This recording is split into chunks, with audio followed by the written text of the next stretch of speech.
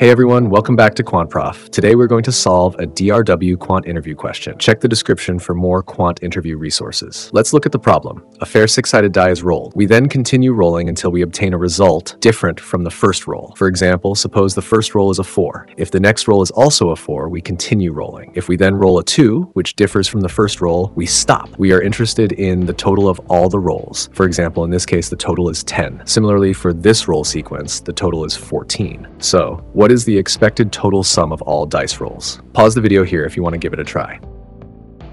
Here's the solution. Let i be the outcome of the first roll. We might roll i a few more times and then get a different result and stop. Let x be the sum of all rolls except the first one. So the total sum of all rolls is i plus x. Note that the expected value of the last roll is 21 minus i over 5. This is because the sum of the numbers 1 through 6 is 21, while the final roll is different from i, and each of the other values has a probability 1 by 5. Now, after getting i on the first roll, there are two possibilities. We either roll i and continue, or we roll a different value and stop. So we get the following equation. The first term represents the case where we get the value i again. This happens with a probability 1 by 6. The plus i represents the value rolled on the current roll. The second term represents the case where we roll a value different from i and stop. This happens with a probability 5 by 6. In this equation, the terms involving i cancel out and we obtain ex as 4.2. Now, using linearity of expectation, expected value of total is equal to EI plus EX. All right, note that EI is simply the sum of the numbers 1 through 6 divided by 6 as the initial roll can be any number from 1 to 6, each with a probability of 1 by 6. Additionally, we calculated EX to be 4.2, so the required expected value is 7.7. Let's consider another problem. We have the permutation 1, 2, 3, and so on till 100. In each move, we randomly select two different numbers and swap them. After 2025 moves, what is the probability that the permutation remains the same as original? Try to solve this on your own. Hope you liked the video. If you want to learn how to solve these kinds of interview problems, we invite you to check out our course, Quant Interview Masterclass, where we teach you how to think when solving difficult problems. We also cover the entire theory,